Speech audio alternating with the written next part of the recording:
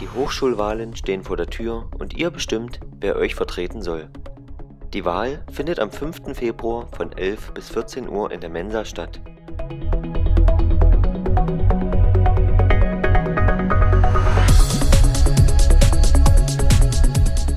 Ihr habt richtig gehört.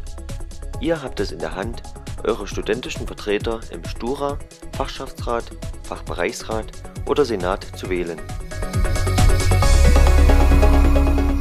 Falls ihr am 5. Februar nicht mehr an der Hochschule sein solltet, habt ihr die Möglichkeit, vom 29. Januar bis 2. Februar per Briefwahl abzustimmen. Ihr fragt euch, wo ihr die Unterlagen für diese Briefwahl findet?